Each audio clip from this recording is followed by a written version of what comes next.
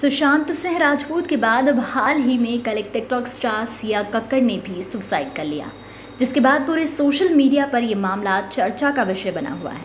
आपको बता दें कि फोटोग्राफर विरल भियानी के पोस्ट के मुताबिक वो कल रात तक अच्छे मूड में थी। सिया की मौत का कोई सबूत हाथ नहीं लगा है। इस मामले की जाँच पड़ताल की जा रही है। इस मामले में पुलिस लगातार घर परिवार के लोगों से, परिचितों से और दोस्तों से पूछताछ करने में लगी हुई है। आपको बता दें कि सिया मात्र 16 साल की थी और इनके टिकटॉक पर एक मिलियन फॉलोअर्स थे। यही मौत के बाद टिकटॉक, इंस्टाग्राम सब जगह इनके फॉलोअर्स और ज़्यादा बढ़ गए हैं। सिया कक्कड़ पूर्वी दिल्ली की गीता कॉलोनी में अपने परिवार के साथ रहती थी।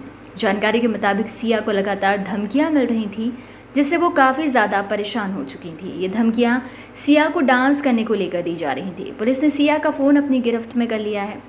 पुलिस अब उनके फ़ोन कॉल की डिटेल्स निकालने में लगी हुई है, जिससे ये पता चल सके कि आखिरी बार उनकी किस किस से बात हुई थी।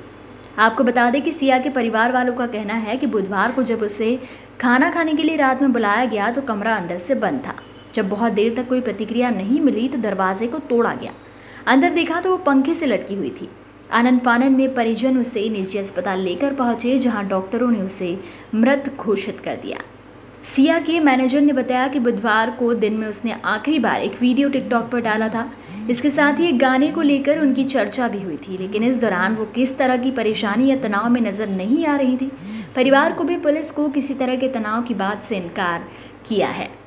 Subscribe our channel and press the bell icon for more updates.